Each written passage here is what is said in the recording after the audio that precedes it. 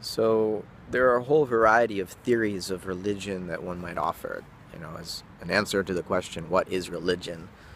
Um, there have been several videos made recently.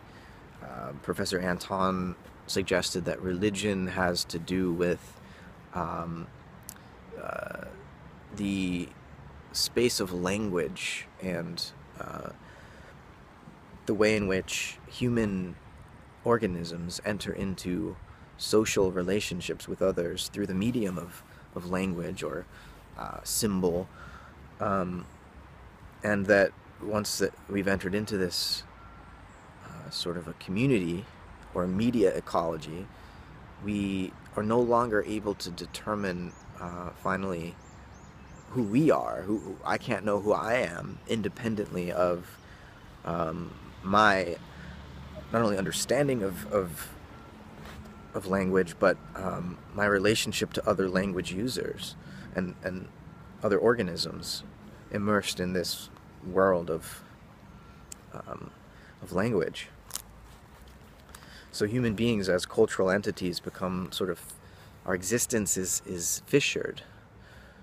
Uh, there's sort of a gap that lives at the heart of our existence um, that prevents us from being able to finally resolve the difference between myself and an other and that religion emerges as I try to come into relationship to not just any other particular uh, person, but to person personality in general, to being as such. How do I come to have a relationship with being? With the fact that, you know, if I am, then there must be first before I could then be as a consequence. Um, and so, as, as language users, as cultural beings, humans, human consciousness exists in relationship to its own ground and wants to know its own ground. Uh, and I think, you know, there's something deeply insightful about what Corey's talking about.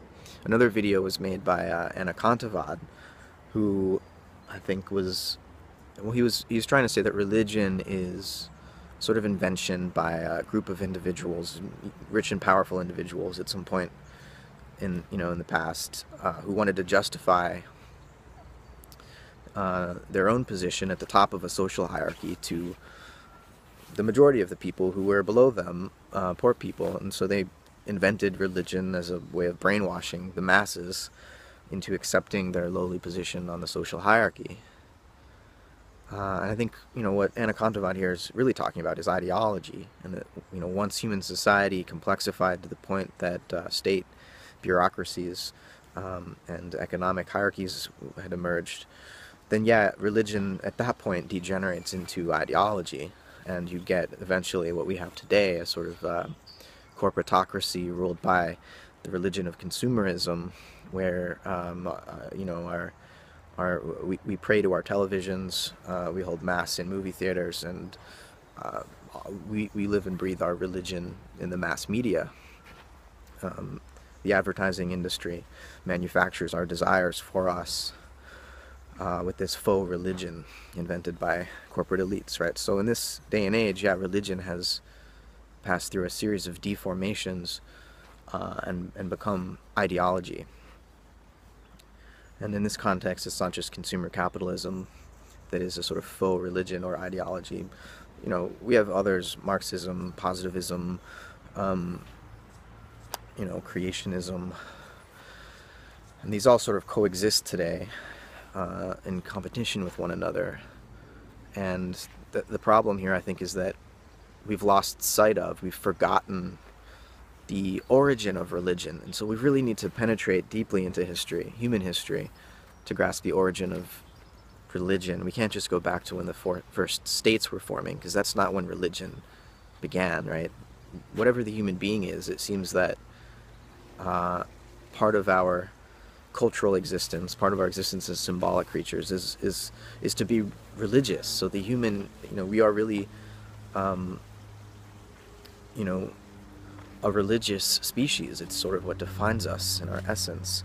It's that we need to be in relation with our own ground, with our own source. Um, other animals don't seem as uh, hell bent on having and maintaining such a, a relation. So, the human being is the religious animal, and I think originally this religiosity emerged as in the form of myth, right?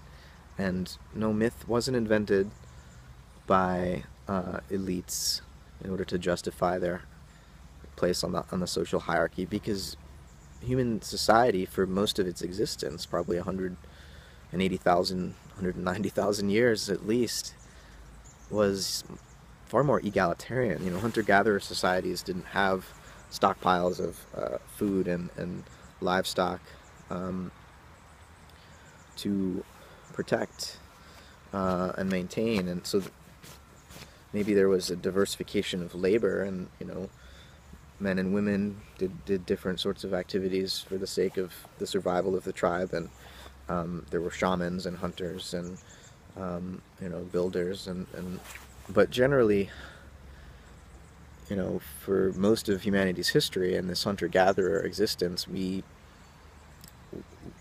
you know, there wasn't uh, a fragmentation of, of um, society to the point that there might be an elite class who could create from from scratch uh, sort of um, uh, ideology to brainwash the rest of the tribe with. You know, we all sort of shared a single consciousness in, in these more egalitarian societies, I, would suggest. There wasn't really a, a, felt sense of individuality among each of the members of a tribe. Um, rather, there are what we now call gods, you know, animate spirits of some sort that were in fact the, the guiding uh, powers of, of these tribes.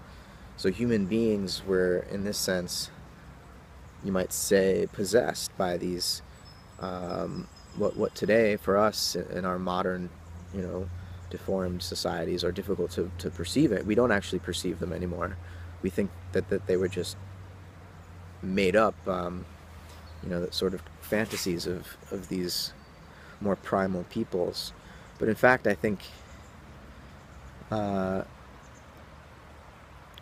if you really begin to under, understand how consciousness evolves, um, uh, these primordial peoples, you know, hunter-gatherers, the people writing on on cave walls, uh, dancing around fires beneath the night sky, telling the stories of the stars, you know, with with songs that they would sing. That this eventually evolved or devolved into the alphabet that we use today in our literate societies, right? So there's there's still a line of continuity here, but you know, I think there's something profoundly uh, ecological and cosmological about the stories that ancient, uh, you know, primordial peoples uh, were enacting, and that, that they weren't just making these stories up. They weren't just uh, arbitrary fabrications. Um,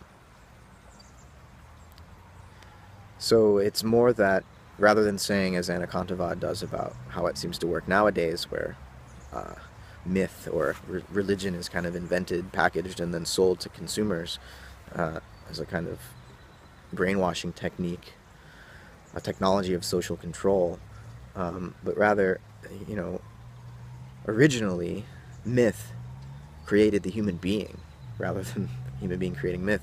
Myth is what shaped our our culture, and that, that the gods and goddesses are, in fact, the um, powers and potencies of nature risen to uh, consciousness um, in human beings.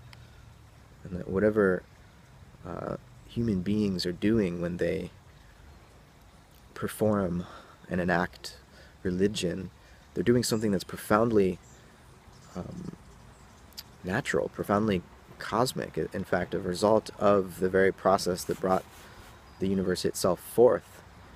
Um, so yeah, religion as a natural phenomenon.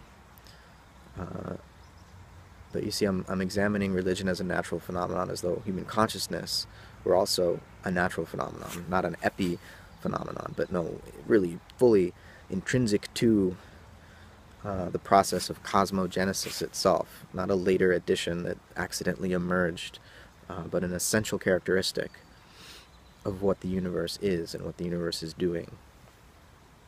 So, what is religion? Religion is the human being's way of coming into relationship with the universe. Um, and religion is the universe's way of being human, of expressing humanness. Um, sometimes uh, it's helpful to be able to read uh, as well as speak. So, uh, if you're interested in what I'm saying, I'll post some some essays that you might find clarifying um, about my perspective here.